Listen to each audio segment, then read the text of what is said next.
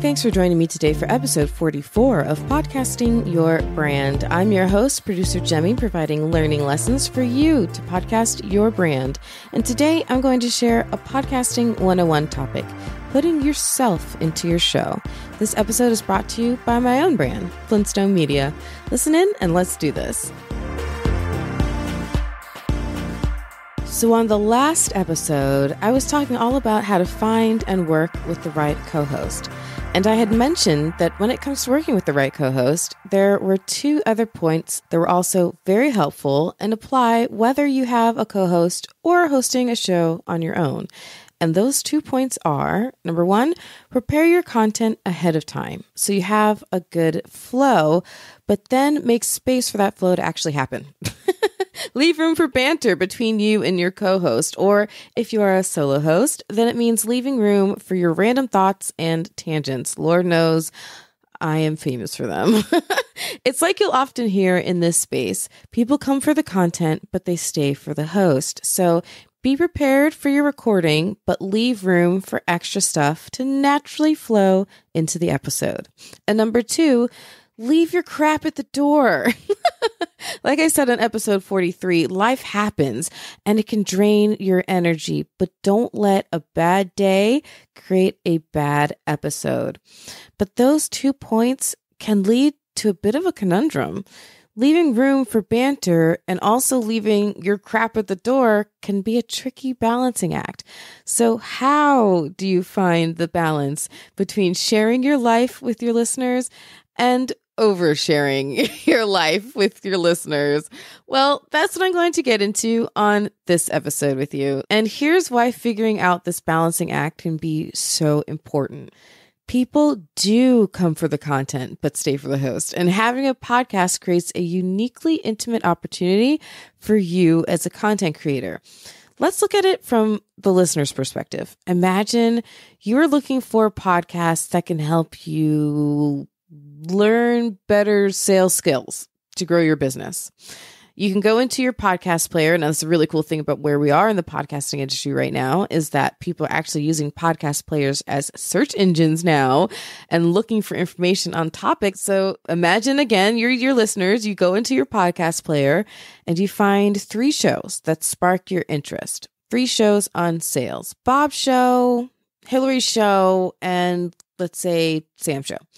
And on Bob's show, he gives very practical advice from a professional professorial tone, mentioning that he was both a C suite level sales team lead and a business professor for a couple of decades, local university, the whole nine yards, right? And he supports his lessons with real life war stories, both from the boardroom and the classroom. And he's very cut and dry. Okay. Now, our second show host, Hillary, I remember Hillary, Hillary learned sales from the School of Hard Knocks. And she's an entrepreneur, say maybe in her, I don't know, late 20s. She's mastered the use of digital platforms to spread her sales messaging. So she might be a little bit of different personality from Bob so far, right? Imagine that she's a mom. She loves to travel. I'm kind of going firsthand, I guess, a little bit. and she volunteers uh, one weekend a month at a food bank. Okay. Then there's Sam. Uh, Sam's show is full of laughs and he presents sales from a failing up perspective, mostly sharing what not to do. And his examples come from his own fails, but also from his guest fails. So he has a guested show and he's not afraid to be self deprecating. Like he lays it all on the line. When he can relate, he shares his story of failure too. We'll say that he's a single dad. He loves the three B's bowling, boating, and beer. okay. You can pretty clearly picture our friend Sam. And he also often relates stories from his parenting having to kind of sell his kids his ideas of what he wants to do on the weekends and get them on board with things.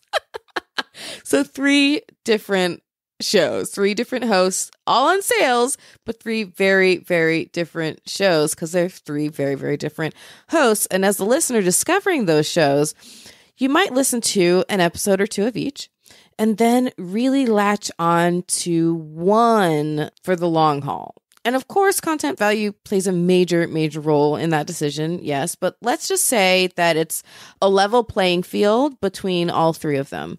And the shows just differ on the personalities hosting them. That's what the episode's about. So we're dialing into differences only on personality. So which one, Bob's, Hillary's, or Sam's, do you think that your average listener looking for a show on sales is going to stick with and subscribe to? The answer is whichever host they most resonate with as a person, as a human being. Which one did you resonate with the most? I'm sure as I was giving kind of a rundown on their backgrounds and personalities, one maybe piqued your interest more than the others. Those extra little details helped bring them to life a bit more for you, I'm sure. And that's the same effect that you have when you share little details about yourself on your show. And it ultimately doesn't matter. In my story, whether the listener picked A, B, or C, Bob, Hillary, or Sam. It doesn't matter. They picked them because they had a chance to differentiate between the three and connect most with one of them. But guess what? that magic doesn't happen. It can't happen if you don't open up on your show and share those little details. See, podcasting is a uniquely intimate medium for a consumer to experience. You're right there in their ear. Like they're dialed into what you're saying, or they're coming along on your journey of the story you are telling, or they're taking notes on the lesson you're teaching and rewinding a couple seconds to take more notes again, or whatever, right? But it's a much more intimate method for consuming content because you're right in their ear there's a feeling for a listener of being a fly on the wall. And because of this intimacy, people feel like they can really get to know you. And your listeners will ultimately want to get to know you. They'll want to find and to see themselves in you. So they don't think they're the only one who's weird or quirky or into a certain hobby or opinionated about a certain thing or whatever they want to truly connect with you. I mean, think about your favorite talk show or sitcom. There was a character on it that you loved the most, or you watched that talk show because you loved the host, whatever it is, you've been there. Your listeners will be there too. They truly want to connect to you. So there is a desire from them to get to know more about you. But there may also be a desire from you to share stuff that goes beyond the natural boundaries and scope of your show. That's where it gets a bit sticky. If your show is about sales, as in my example, do you mention, mm, let's say, the cruise that you're you're looking forward to next week? Well, maybe, but definitely if it helps illustrate the fruits of your successful sales skills. and how important it is to find work life balance or whatever, you know, things like that, for example. If your show is about rescue dogs, do you share your thoughts on the latest installment of the Marvel Cinematic Universe? I was watching a lot of Marvel today. Perhaps, maybe you do. but the needle is probably on that example pointed a little more towards probably not. Maybe, Maybe, but it's something to think about. Should you, shouldn't you? And maybe thinking about sharing something like your thoughts on a Marvel movie is a bit of a silly example. But here's why I'm bringing this up. And I'm bringing it up early within the scope of the show because here's where the danger lies. There are three main pitfalls with oversharing on your podcast. Number one is making the show all about you let's be honest, unless you're a celebrity, whether in the broader sense of the word or within your specific industry or space or city, whatever, no one wants to hear all about you. No one wants to hear all that. And if you need a refresher on why, rewind back to episode 33 which I called No Infomercials, Please. Of course, I'll include a link in the show notes as I always do for your convenience in case you missed it. But it's really, really important not to make a show all about you. The second main pitfall of oversharing on your podcast is the risk of offending a large portion of your audience for no legit and valid reason. Look, we are in very divisive times and we all have opinions. But if those opinions don't have any bearing whatsoever on your show content, then think long and hard about sharing it on your show. if it doesn't belong, it doesn't belong. And number three, the third pitfall is doing something that just plain turns people off like talking about something gross. no one wants to hear about your belly button lint or talking about something completely unrelated. No one needs to hear about well, maybe on some some shows it might make complete sense. Certainly on Horse Rated Network, some shows make sense. But otherwise, no one really needs to hear about how you had to take your dog to the vet that morning. That's something completely unrelated usually. so talking about something gross or talking about something completely unrelated or going on a tangent for way too long. You get the picture here, right? That kind of a thing can just turn people off. So that's the third pitfall. And going with a rule of three theme today, there are three rules of thumb that I have in terms of whether or not to go ahead and share. And it boils down to whether what you want to share will draw people in or push them away? And again, is it within the scope of your show's content? In other words, does it lend itself to the overall value you've promised to deliver with every episode? And by the way, that overall value doesn't have to mean that it is about your exact topic and only about your exact topic. Going on a cruise has nothing to do with sales. but it's great content if the promise of your show is about sales, right? Because it can, again, illustrate the fruits of that labor, right? So, what are my rules of thumb when it comes to whether or not you should share? First up, go right ahead and sprinkle in those fun, quirky, random details about yourself when they naturally come up like really don't hold back. If it ends up being an overshare, you can always just edit it out, right? so, for example, if you have a guest, if you have a guested show and your guest says something in their story that mentions your favorite food, you should definitely not be afraid to be like, oh my gosh, that's my favorite. like, Tell them, share that, let your listeners and your guests know. Or if your guest mentions being in a band in high school, throw in that you played the trumpet terribly too, like whatever. Sometimes I've had a guest mention being a server or working in a restaurant. I'll throw in that I was a terrible server. I've worked in several restaurants and I've done it badly every time. Remember, the most unique thing about your podcast that nobody else has is you and all those little details. So share all those little details about yourself. Eventually, my listeners learn that I have an admittedly quite unhealthy obsession with making lists. I love, love, love, love, love making lists. I also love, love, love, love, love making Legos. I used to sing karaoke in every bar I could find. I have several tattoos. I was an EMT in college. I'm a mom, etc., etc., etc. See? Just now, you had a reaction to at least one of those little details about me. You either just said to yourself, I make lists of my list too, or flashback to playing with Legos as a kid, or playing with them over rainy weekends with your own kids, or imagine that you've never been brave enough to grab a karaoke mic, or that you're a total ham and no one can grab the mic from you. Whatever. But there was something that I listed off about me that you reacted to.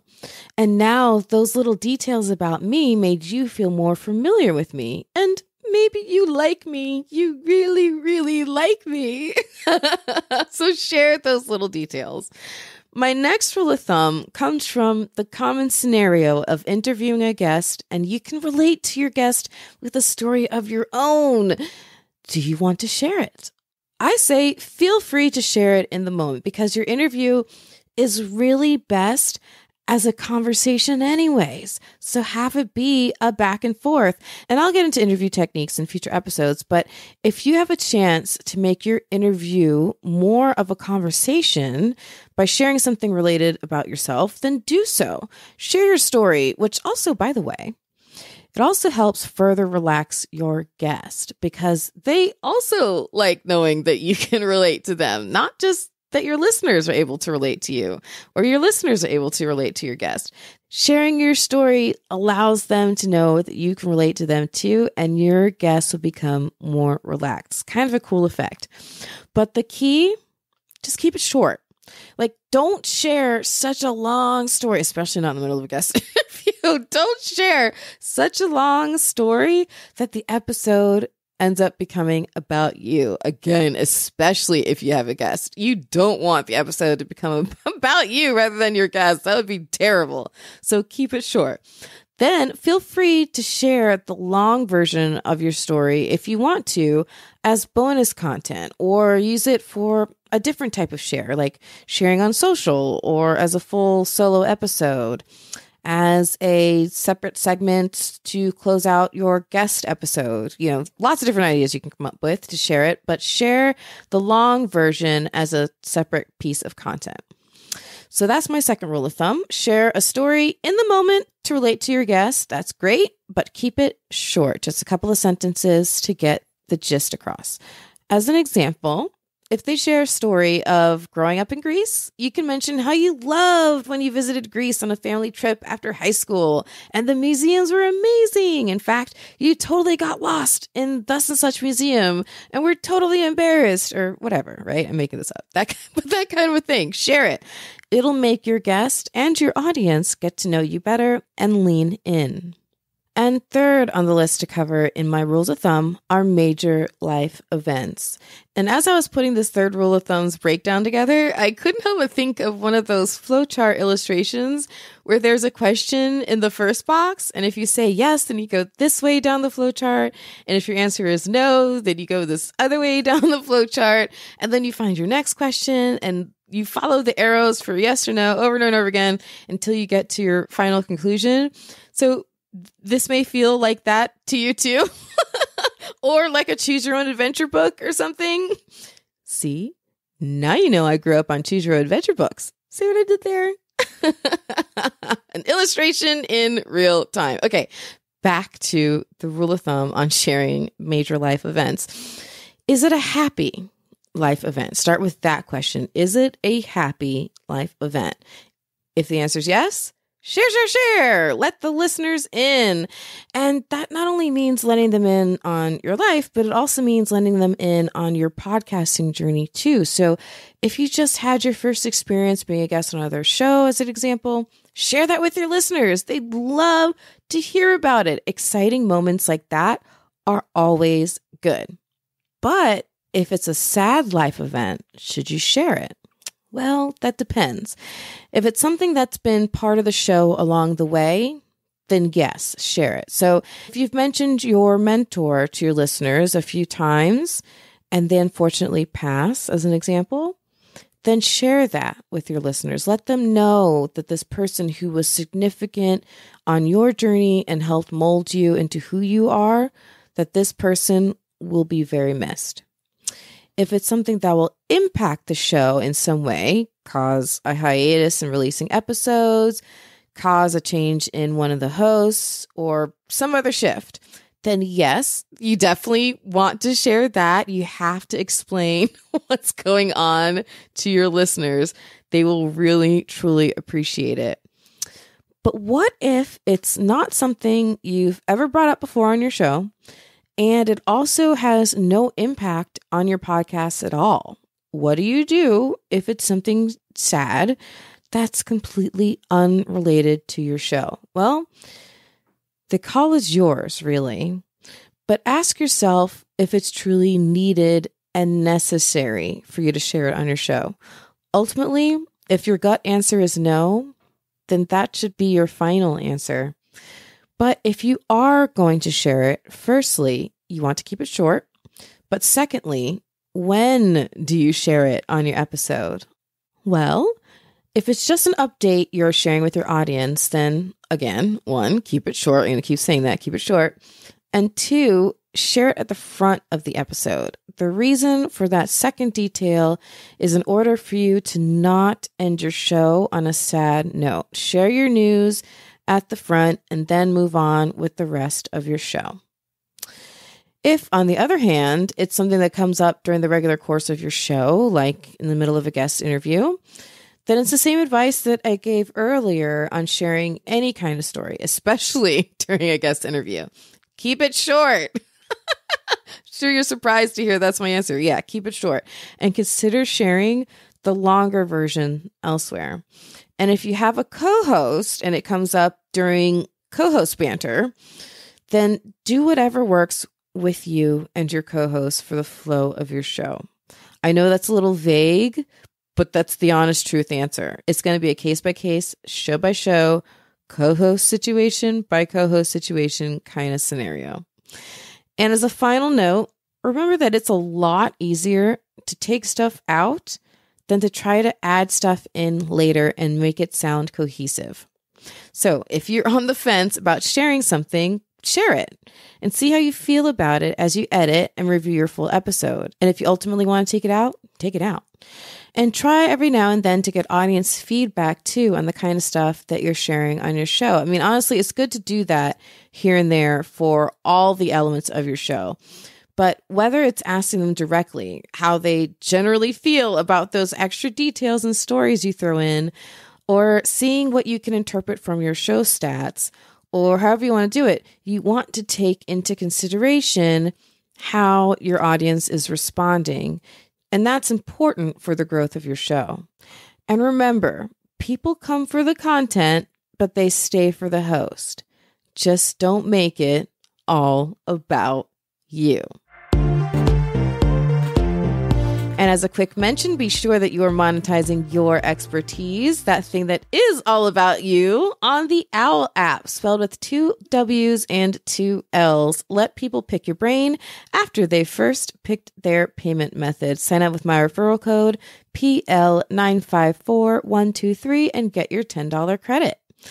And up next on episode 45, I'll share my first podcasting 102 topic with my disciples lesson, a fan favorite on Clubhouse and other spaces. And it's a great lesson for audience growth. So if you're not yet subscribed, be sure you do. In the meantime, I have a whole host of free tips for you on my website. Just check out flintstonemedia.com slash free tips. Thanks for tuning into Podcasting Your Brand. In this chapter of the show, I'm revealing to you how you can harness the power of podcasting to expand your brand. So come and pick up what I've been putting down since 2014, avoid common mistakes, and propel your podcasting and branding forward. And if you have questions or are interested in becoming a sponsoring brand of this show, don't be shy. Reach out to me at Jaime, spelled J A I M E, at flintstonemedia.com. Is producer Jaime signing off for now. Remember, the only thing more powerful than your voice is your spirit to use it. So turn that mic on.